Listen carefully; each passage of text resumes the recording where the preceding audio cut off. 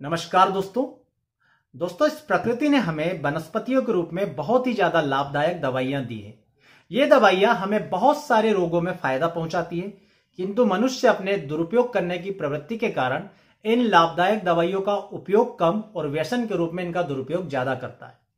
इसी प्रकार की एक दवाई है दोस्तों, भाँग, जिसे प्राचीन समय से ही हमारे ऋषि मुनि इस्तेमाल करते आ रहे हैं बहुत सारे मरीजों की मानसिक बीमारियों को दूर करने के लिए। या और भी कई बीमारियों को दूर करने के लिए भाँग की पत्तियों का सेवन किया जाता था। किंतु धीरे धीरे इनका दुरुपयोग नशे के रूप में किया जाने लगा और एक बहुत ही लाभदायक औषधि जो है, व्यसन के रूप में दुरुपयोग के रूप में उसका यूज़ करने लगे है आजकल की पीढ़ी। इसी भाँग से दोस्तों, होम्योपैथी में एक दवा बनती है, केनाबिस इंडिका। दोस्तों, ये दवा बहुत ज़्यादा प्रभावशाली होती है मस्तिष्क संबंधी बीमारियों को दूर करने के लिए। क्योंकि इसके जो लक्षण होते हैं, ये बहुत सारे मरीजों में सीजोफ्रेनिया के मरीजों में या जो मेंटल कंफ्यूजन लिए हुए मरीज़ होते हैं, उनमें मिलते हैं। इसके अलावा इसे सुजाक के केसेस में गोनोरिया के केसेस में भी यूज़ किया जाता है और एक विशेष प्रकार के सिरदर्द की कंडीशन में भी केनाबिस इंडिका को यूज़ करते हैं। तो मैं जो लक्षण आपको बता रहा हूँ, इन्हें ध्यान से सुनिएगा, क्योंकि ये लक्षण यदि आपको किसी मरीज़ में मिलते हैं तो चाहे उसकी बीमारी कोई भी हो, यदि आप केनाबिस इंडे का दवा देंगे तो उसको बहुत ही जल्दी फ़ायदा मिलेगा।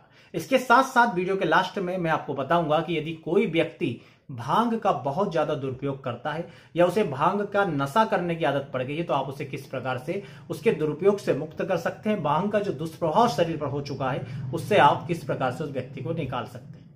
सबसे पहले दोस्तों बात करते हैं केनाबिस इंडिका के सिम्टम्स की।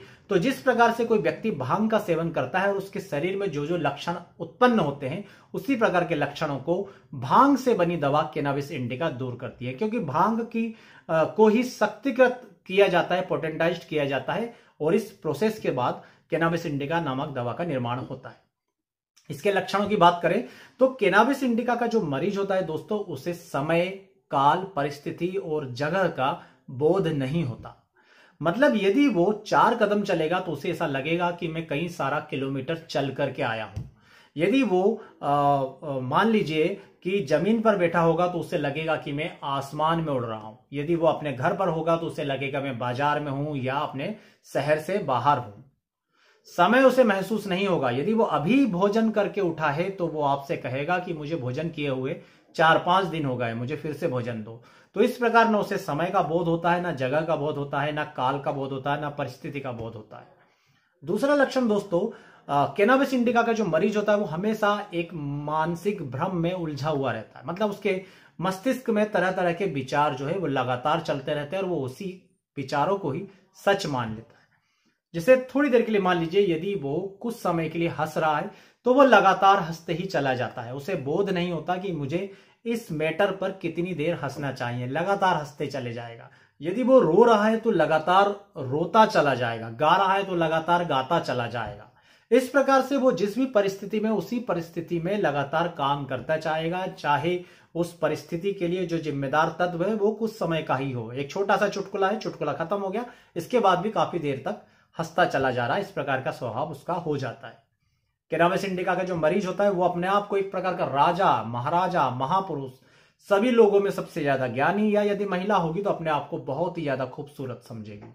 ऐसा लगेगा उसे कि मुझसे खूबसूरत इस दुनिया में कोई व्यक्ति नहीं है, मुझसे अमीर इस दुनिया में कोई व्यक्ति नहीं है। मैं राजा हूँ, मैं महाराजा हूँ, मैं सब पे शासन करने के लिए बना हुआ। तरह तरह के विकल्प, विचार जो है, उसके मस्तिष्क में चलते रहेंगे। मेरे पीछे कोई सांड चल रहा है, लगातार पीछा करते हुआ आ रहा है। मेरे हाथ पाँव बहुत ही ज़्यादा लंबे हो गए हैं, जैसे उसने कोई कहानी सुन ली, चुड़ैल या भूतों के हाथ पाँव लंबे होते हैं तो वो उसे अपने आप में महसूस होने लगेंगे कि मेरे हाथ पाँव जो है, बहुत ज़्यादा लंबे होते जा रहे हैं। जैसा मैंने आपको बताया कि उसे लगेगा, मैं हवा में उड़ रहा हूँ, ज़मीन पे चलने का एहसास उसे नहीं होगा। तो इस तरह के, तरह तरह के मानसिक भ्रम उसके मस्तिष्क में पैदा होते रहते हैं, नष्ट होते रहते हैं, एक के बाद एक तरह तरह के विचार जो है लगातार आते रहते हैं। इसी प्रकार से बोलने के मामले में भी केनाबिस इंडिका के मरीज़ में एक विशेषता आ जाती है।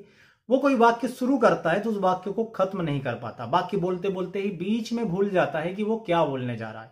अब देखिए, इस प्रकार के लक्षण आपको बहुत सारी बीमारियों में, मरीजों में मिलेंगे। मरीज़ ऐसा बोलेंगे, सर, हमारी बेसिए तो जो स्मरण शक्ति है, याददाश्त है बहुत अच्छी है। परंतु कोई वाक्य बोलते बोलते किस विषय पे वाक्य बोल रहे थे, वो अचानक से लाइट टूट जाती है और ध्यान ही नहीं रहता कि कि हमने आखिर किस विषय में बात बोलना शुरू किया था। ये लक्षण आपको कई सारे मरीजों में मिलते हैं, किसी अन्य बीमारी में भी तो भी आप कैनाबिस इंडिका दवा का इस्तेमाल करके मन चाहे परिणाम हासिल कर सकते हैं। अगले लक्षण की बात करें तो एक खास तरह के सिरदर्द में भी कैनाबिस इंडिका दवा का यूज़ होता है। लक्षण ये होते हैं कि व्यक्ति को सिरदर्द होता है और उसके साथ ये आभास होता है कि सर की जो खोपड़ी है, वो खुल रही है, बंद हो रही है, खुल रही है, बंद हो रही है। तो इस प्रकार से खुलना और बंदना, बंद होना, अंदर का जो स्कल है, जो खोपड़ी है, उसमें खुलना और बंद होना, इस तरह के बार बार सिम्टम्स मरीज़ को सिरदर्द के साथ महसूस होते हैं। वहाँ पर भी यदि कैनाबिस इंडिका देंगे तो तुरंत ही सिरदर्द में आराम मिलता है। और दोस्तों कैनाबिस इंडिका दवा को सुजाक गोनोरिया की प्रथम अवस्था में बहुत ही शानदार इसके रिज़ल्ट मिलते हैं यूज़ किया जाता है। तो यदि किसी मरीज़ को यूरिन करते समय पस आता है, पीला पस आता है, इसके साथ यूरिन करने से पहले, पेशाब करने से पहले, पेशाब करते समय और पेशाब करने के बाद बाथरूम में जलन होती है पेनिस में जलन होती है और उसके साथ साथ वो जो जलन होती है, वो पीछे की तरफ़ महसूस होती है किडनी तक जा रही है, गुर्दे तक जा रही है और जब भी दोस्तों बाथरूम के लिए जाता है तो प्राइवेट पार्ट में भी दर्द होता है तो ये सब लक्षण होते हैं। सुजाक गोनोरिया की प्रथम अवस्था में और प्रथम अवस्था में यूज़ करने के लिए केनाविस इंडिका दवा का यूज़ करते हैं। बहुत अच्छे रिज़ल्ट मिलते हैं। तो ध्यान रखें, बीमारी कुछ भी हो, बीमारी के नाम पर ना जाए, पर ये यदि लक्षण मिलते हैं, खासकर मानसिक लक्षण, क्योंकि होम्योपैथी में ऐसा माना जाता है कि यदि मानसिक लक्षण आपको मिल रहे हैं तो वो दवा सबसे अच्छा काम करेगी।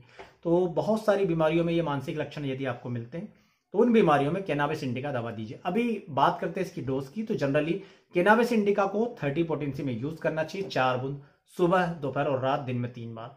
कुछ समय तक देने के बाद जब आपको परिणामों में उत्साह दिखने लगे पॉजिटिव रिज़ल्ट दिखने लगे तो तीन बार के बाद, दो बार करके बंद कर देनी चाहिए। ये मैं आपको एक एडल्ट की डोज बता रहा हूँ। अब वीडियो का दूसरा पार्ट दोस्तों, कि बहुत सारे लोग जो काफ़ी लंबे समय से भाँग का सेवन करते रहते हैं, उनके बॉडी में तरह तरह के दुष्प्रभाव उत्पन्न हो जाते हैं।